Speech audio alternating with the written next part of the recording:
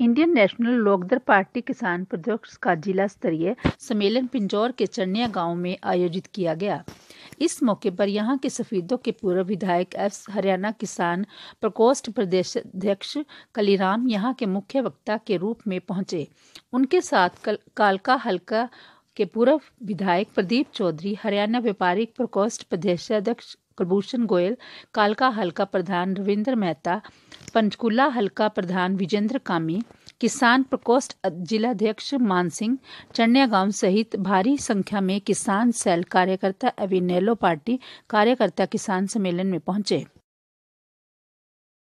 मोदी जी ने कहा था कि हमारी सरकार आई, सरकार आते ही हम किसानों के लिए स्वामीनाथन बोर्ड लागू करने का काम करेंगे। किसानों की जो उनकी फ़सल है, उसका लागत आती है, उससे 50 प्रतिशत अधिक देने का काम करेंगे। आज मूल्य देना दूर की बात रही। आज किसान को यूरिया की ज़रूरत पड़ती, यूरिया नहीं मिलता। आज किसान को बीज की ज़रूरत पड़ती, बीज नहीं मिलता। आज किसान को सिंचाई के लिए बिजली की ज़रूरत है, बिजली नहीं मिलती। अगर किसान तेल फूक करके सिंचाई करने की कोशिश करता है, आज हर रोज डीजल के दाम बढ़ जाते हैं।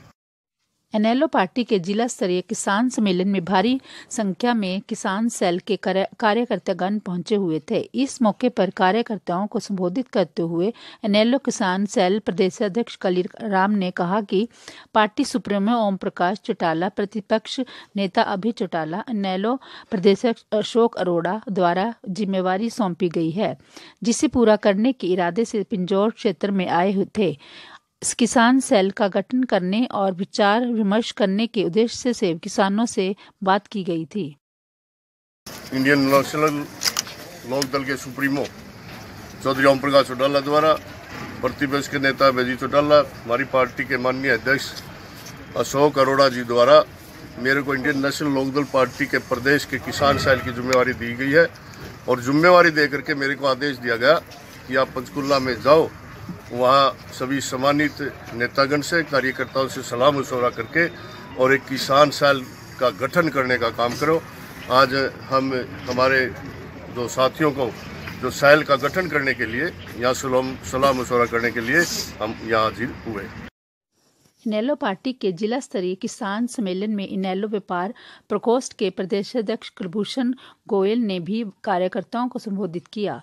उन्होंने कहा कि आज प्रदेश में किसानों की दुर्दशा हो रही है। उनमें बहुत सी समस्या हैं। आज किसानों को उनकी फ़सलों के पूरे दाम किसान मंडी में नहीं मिल पाते। नमी की बात कर किसानों की फ़सलों का पैसा काट लिया जाता है। जिस कारण प्रदेश का किसान मौजूदा भाजपा सरकार से दुखी है और इन्हीं मुद्दों को लेकर किसान से चर्चा की गई थी। किसानों की बहुत सी समस्याएँ हैं। उनको पूरे दाम नहीं मिलते। कभी नमी के नाम पर पैसा काट लिया जाता है जो वहंतर योजना भी इन्होंने बनाई थी, पर इन्होंने उसमें फ़सल, चाहे वो बाजरा था, चाहे सरसों थी, चाहे वो कपास थी, वो बहुत कम खरीद की है। उसकी सारी जिम्मेदारों की सारी फ़सल खरीद दी जाए। इसी मुद्दे पर आज हमारी बैठक हुई थी।